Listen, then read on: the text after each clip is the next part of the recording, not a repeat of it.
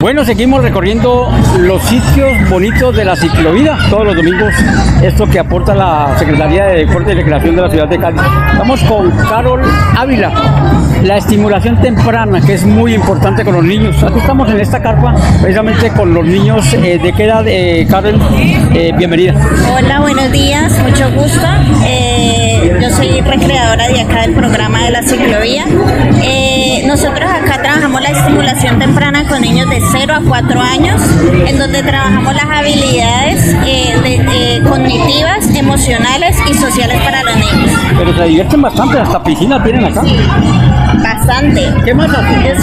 Eh, interactuamos con ellos, jugamos, les enseñamos juegos tradicionales los niños que apenas están empezando a gatear, que están empezando como a aprender las habilidades que son como correr, lanzar, agarrar y, y entre otras.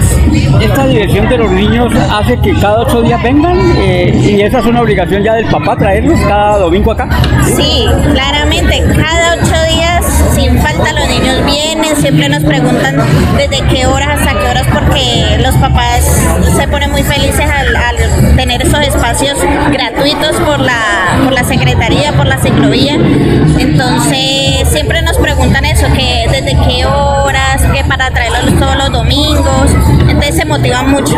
Qué bueno, y si uno hace el recorrido eh, mirando caras, hay carita feliz en casi todos. Sí, todos los niños, todos los niños les gusta mucho este espacio. Aprovecho para que invite entonces a través de nuestro programa Logros eh, para que los niños, los papás, eh, los traigan cada ocho días acá a la ciclovía. Bueno, hacemos una invitación eh, especial para el programa Logros y para que todos vengan a la ciclovía, puedan compartir los niños de 0 a 4 años. También tenemos ya mayorcitos de 5 a, a 10 años, tenemos ya de 12 años, tenemos habilidades deportivas, tenemos esta carpa que es estimulación temprana tenemos la zona de recreación también. Muy bien, y los adultos también se divierten. Aquí eh, visibilizamos las noticias positivas en Logros para contar.